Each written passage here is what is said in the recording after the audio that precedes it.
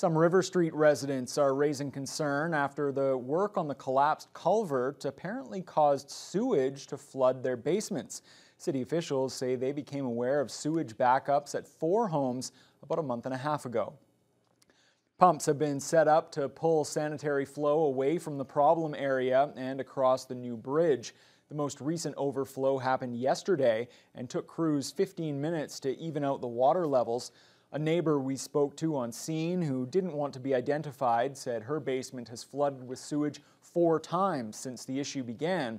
While there's no timeline for a fix, City project engineer Mike Vogrig says crews are working hard to find a solution.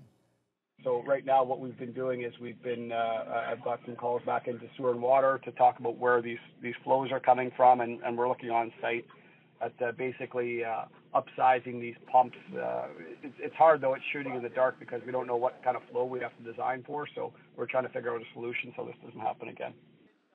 Vogrig says affected homeowners have been told they can put claims in with the city.